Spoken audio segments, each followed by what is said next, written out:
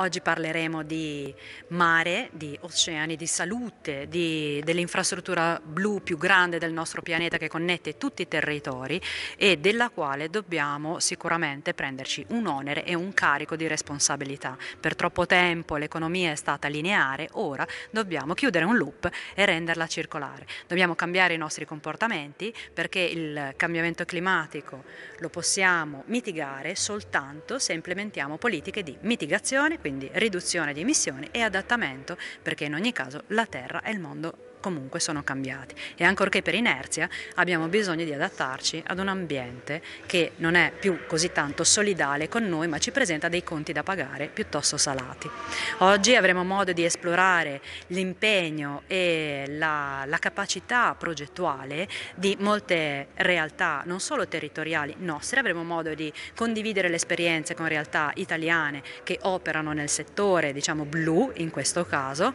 e avremo anche modo di eh, combinare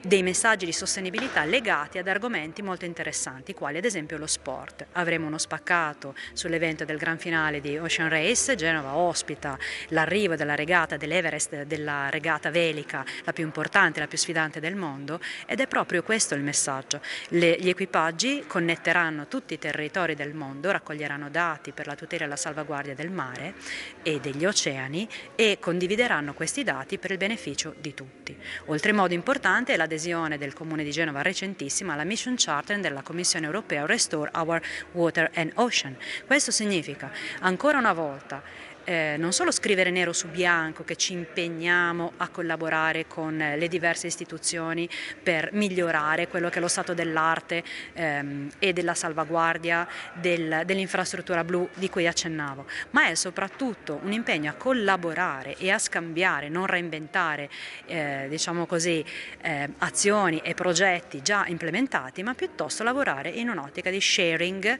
della conoscenza per essere più efficaci e fare prima. Tempo non ne abbiamo.